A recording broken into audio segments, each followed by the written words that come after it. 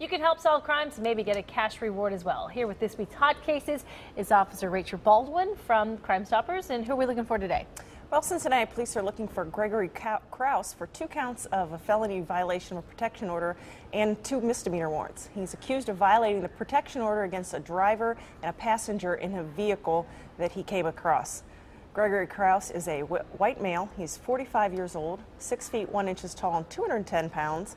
His criminal history includes theft, violation of protection order, abduction, menacing by stalking, and multiple traffic charges. He was last known to live on Twain Avenue in the Sayler Park area. What about Marcus Williams?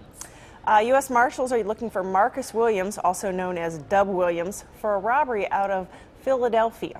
Officers say that on April 29, 2013, Marcus robbed a convenience store at gunpoint. He fled Philadelphia and came to Cincinnati to live with his sister. He has an extensive criminal history and should be considered armed and dangerous. Officers believe that he's hanging out or residing in the Madisonville area of Cincinnati. He is 24 years old. He's 5 feet 7 inches tall and 145 pounds. And his last known addresses were in the 6000 block of Prentice Street and the 6200 block of Desmond Street in Madisonville. Rachel, thank you as always. If you have information on either of these suspects, call Crime Stoppers. 513 352 3040 is the number. You remain anonymous and you could be eligible for a reward.